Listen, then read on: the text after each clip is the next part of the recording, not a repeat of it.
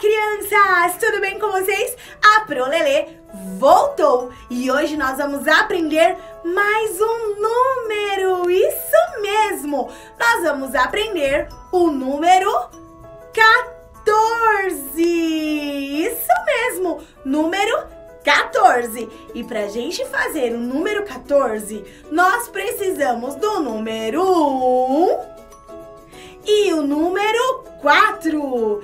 E com eles dois juntos, nós formamos o número 14. Isso mesmo, número 14.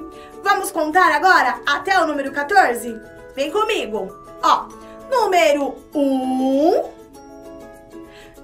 2, 3, 4, 5, 7, oito, nove, dez, onze, doze, treze, quatorze.